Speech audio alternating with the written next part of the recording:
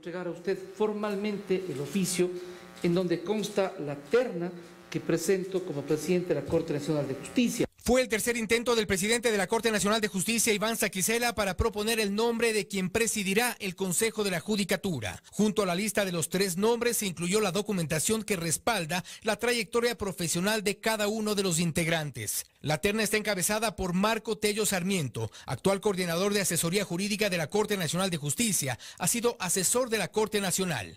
Experto en proyectos de la Corte Nacional de Justicia en 2013, abogado de la empresa pública Etapa y asistente fiscal de la SUAY. En segundo lugar está Alexandra Vallejo Basante, jueza de la Corte Provincial de Azuay. Fue presidenta de la Corte de Azuay en 2018, jueza de la niñez y adolescencia y abogada de la Defensoría del Pueblo.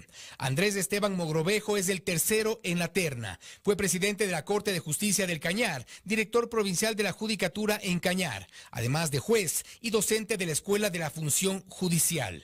El Pleno del Consejo de Participación Ciudadana en torno a lo que dice el reglamento tendrá que conocer esta terna y yo también remitirla simultáneamente hacia el equipo técnico, para que el equipo técnico en un plazo de dos días haga la revisión documental y pasemos a la fase siguiente que sería la impugnación ciudadana. De existir impugnaciones calificadas, habrá audiencias públicas de sustentación. Posteriormente, se dará la designación de quien presida el Consejo de la Judicatura.